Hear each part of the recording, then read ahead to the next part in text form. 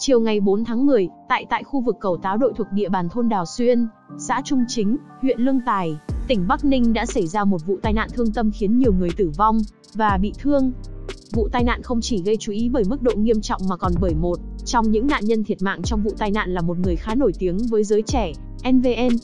Theo như tìm hiểu, được biết, NVN 2000, Bắc Giang, thường được biết đến với tên gọi Nam OK là một yao Uber đỉnh đám, với những vi hướng tới đối tượng là các bạn học sinh trung học. Nội dung các vi được đăng tải thường mang nội dung đơn giản, mang lại tiếng cười. Tuy nhiên, các nội dung mà Nam OK thực hiện cũng nhận về không ít ý kiến chỉ trích.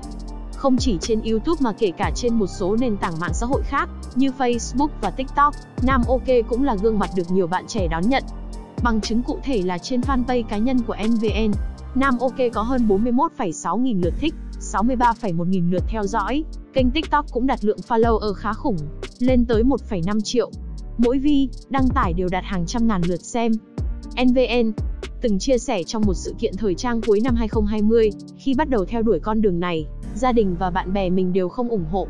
Hơn nữa, thời gian đầu làm YouTube, mình gặp nhiều khó khăn trong lúc tạo vi.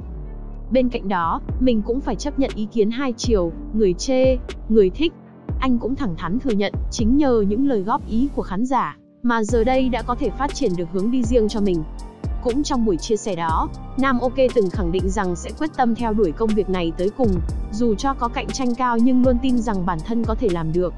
Vụ tai nạn thương tâm xảy ra chiều ngày 4 tháng 10 đã khiến không chỉ người thân, bạn bè mà còn nhiều người yêu thích và ủng hộ NVN. Nam OK vô cùng thương tiếc. Hiện vụ tai nạn vẫn đang được tiến hành điều tra làm rõ.